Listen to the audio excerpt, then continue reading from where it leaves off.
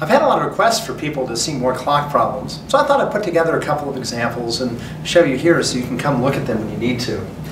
Um, here's a good example of a clock problem. Uh, you can see the time on the clock that we're looking for is 540.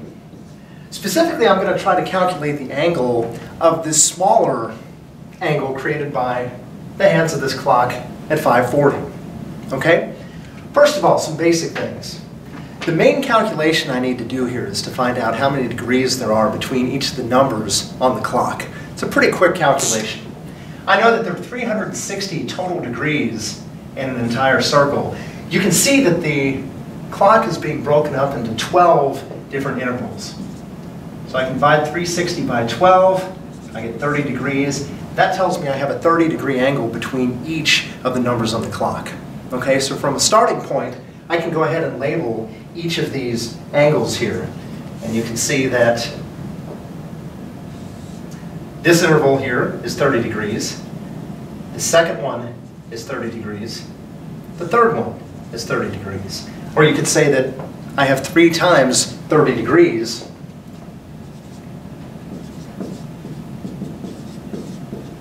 which is equal to 90 degrees. However, I'm not done. You see, the hand, the hour hand of my clock, is going to continue to move.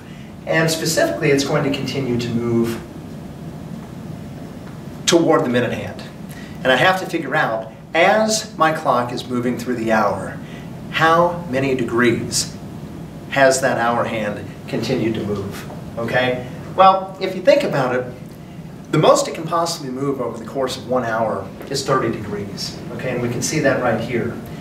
However, I'm not the entire way through the hour. I'm only partially through the hour. So, I have to figure out what fractional part of the hour I've currently moved through. Well, if you think about it, an hour has 60 minutes. It's 540. I've moved a part of the hour that corresponds to 40 minutes. So I am 40 60ths of the way through the hour. That is my part of my hour out of the whole hour. So 40 minutes out of 60 minutes. Simplify 40 60ths, simplifies down to 2 thirds. Okay, so I am two thirds of the way through the hour, which means I'm two thirds of the way through this 60 degrees, sorry, through the 30 degrees between the 5 and the 6 on the clock. Okay, very simple calculation here. If you needed to turn it into a decimal by dividing it out, you could. But I'm going to do it with fraction multiplication because it's very simple. 2 thirds of 30 degrees means I'm going to take 2 thirds times 30 degrees. Okay? Write that as a fraction over 1. 2 times 30 is 60 degrees. 3 times 1 is 3. I end up getting 20 degrees. Okay? Let's come back to the diagram and see what we have. What this is telling me is that this hand is going to move in 20 degrees toward the minute hand.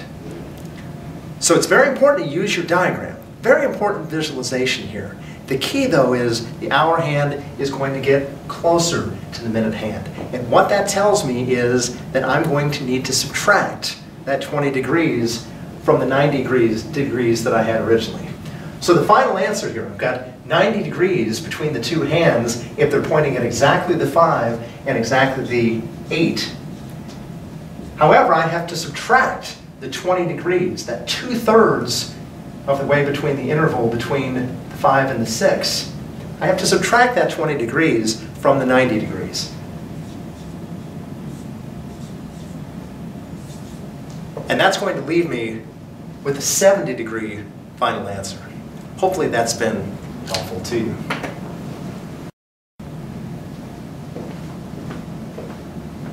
I put together a second example. My suggestion for this example would be to try the problem first, then come back and see if my solution matches yours. That way you can get a little bit of practice instead of just watching me do the problem.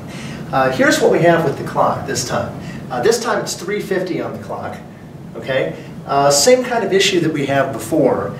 And that is, the clock has 360 degrees, so I'm going to take 360 and I'm going to divide by 12. And that tells me that each interval between the numbers is going to be 30 degrees. So I'm going to mark that. Uh, I've got 30 degrees between the 2 and the 3, 1 and the 2, 1 and the 12, 12 and the 11, the 11 and the 10. So that's 1, 2, 3, 4, 5 intervals, each of 30 degrees. So if I just had the hands freeze at each of the numbers, I could take 5 times 30 degrees, get 150 degrees, and that would be my angle measurement. But we've got the same problem we had before. Unfortunately, that hour hand is going to continue to move throughout the hour, and it's not necessarily going to be pointing to the 3 by the time I'm 50 minutes through the hour. Okay, and in fact, it's going to be pointing nearly to the 4, and it might be better if I'd even drawn it that, that way to begin with. Okay, so it's going to be very, very close to the 4, but not quite there.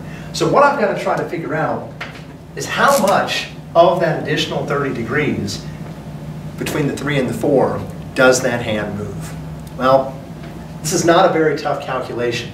The only thing that I have to find is what percentage, what part of that 30 degrees that hour hand would have moved through over the first 50 minutes of the hour. So I want to find out what fractional part of the hour I've moved through.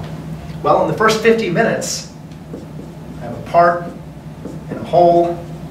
I've moved through 50 sixtieths of the hour, which is 5 sixths of the hour.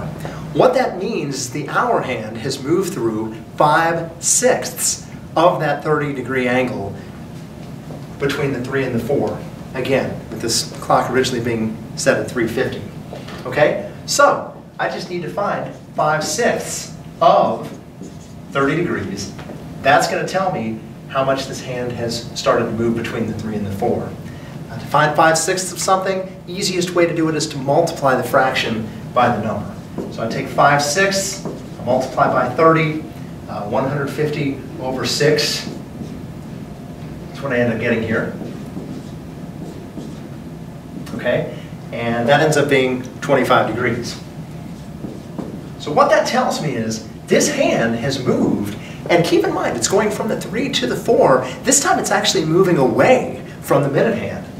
So this hand has moved 25 degrees from when it was pointing directly at the 3 at the start of the hour to now when it's pointing at the 4.